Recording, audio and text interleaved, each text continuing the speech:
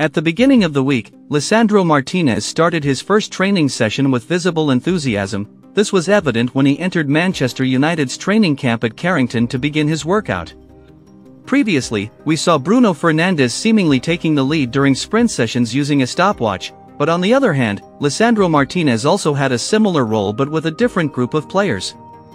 Lisandro Martinez was seen starting his running group with Kobbie Mainoo, Joshua Zirkzee, and Facundo Pellistri, and interestingly, Martinez, who was very enthusiastic, appeared to be encouraging Pellistri, who was running beside him during the sprint session, it seemed like Licha wanted to pass on his enthusiasm to his teammate.